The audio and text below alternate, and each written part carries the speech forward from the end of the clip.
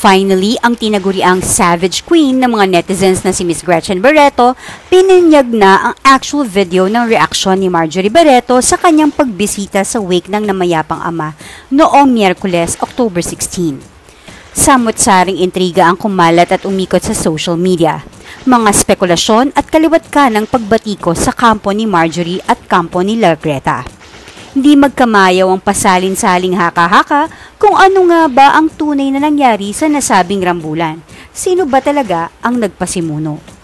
Nasagot na nga ang mahiwagang tanong na ito na kung dati nagdududa pa tayo, narito ang anggulo ng video camera sa pool sa pagdating ni Gretchen Barreto. Ang mga unang nailabas na videos ay nakatutok lamang sa pagdating ni Greta. Ngayon nahagip na ng kamera ang komosyon na naganap brought about by the Queen's humble arrival.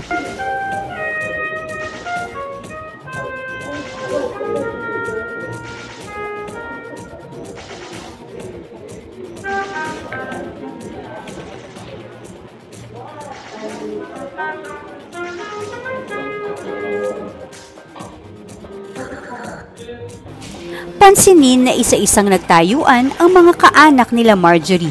At dito nga, kitang-kitang na alerto ang anak na si Leon. Lumapit agad sa kanyang mommy Marjorie. Pati na rin ang mga pinsan nito kasama si Andre Barreto. Si ex-mayor Recom Echeverry na nakatayo, halos katabi ni Danny Barreto. Lahat nakasulyap sa kung ano nang nangyayari doon sa may harapan para silang nakakita ng multo at nag-iisip kung anong next action nila. Alertong alerto. Pagmasdan si Marjorie. Ang pagmumuestra, nakatiklop na mga braso, mabilis na pakikipag-usap sa mga nakapaligid sa kanya. Lalo na sa katabi niya na si Nicole Barreto. May tinuturo-turo pa sa may pintuan. Tila may isa pang bisitang kasama si Gretchen at inuutusan din ang mga kasamahan. May isang kaanak na tila nagpapakalma sa kanya. Ang hinala ng marami, ang tinuturo-turo niya ay ang pagdating ni Atong Ang na lalong ikinagalit nila Nicole at Marjorie. Mismong si Gretchen ang nag-post ng video na ito na pinadala sa kanya ng isang concerned supporter ni Claudine Barreto na nagngangalang Apple Nasaksihan nito ang lahat ng gabing yon. Narito ang statement ni Gretchen Barreto. Watch carefully, Marjorie. And Nicole is the one beside her. At the day of the wake. Watch ex-mayor Echeverry.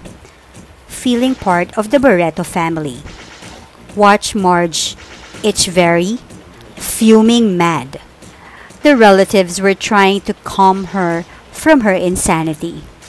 Now you know why I did not go to visit my dad in his last days. Marjorie will have an outburst in the ICU. Isang malaking tulong na andun si Presidente Duterte. Thinking and hoping na bilang respeto sa Presidente ng Pilipinas, lahat ay magiging civil sa isa't isa. Ito ang naging shield supposedly ni Gretchen Barreto laban sa posibilidad na magkaroon ng confrontation. Pero wala din palang bisa Nangyari na ang iniiwasan sana ni Gretang mangyari, ang magkaroon ng iskandalo, sa harap ng lamay ng kanyang ama. Sobrang mainit si Marjorie, di niya napigilan ang galit sa kanyang puso, na doble pa ng susog ng kanyang pamangkin na si Nicole. Lalong na heighten ang lahat. Sa halip na mapakalma sila, ng presidente sa kagustuhan mapagbati sila lalo pang nagkagulo. Ngayon alam na natin kung bakit nagdesisyon siya na di na pumunta sa ospital para dalawin ng ama. Bantay sarado at kontrolado nga ni Marjorie ang lahat ng kilos at galaw sa ospital. Alam niya na magwawala si Marjorie sa intensive care unit o ICU pag nagpakita pa si Gretchen dito. Na-underestimate naman niya ang pangyayari. Capable pa rin palang makipag-away ang kapatid kahit sa harap ng presidente nung araw ng lamay. Gretchen obviously came in peace.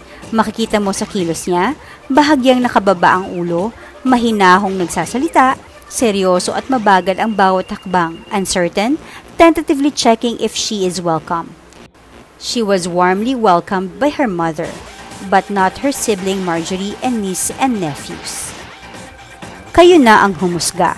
Mas kanino kayo naniniwala? Team Marjorie ba o Team Lagreta? For more news updates, please subscribe to Hot Manila. Share your thoughts and comments below. Hit like and click the notification bell.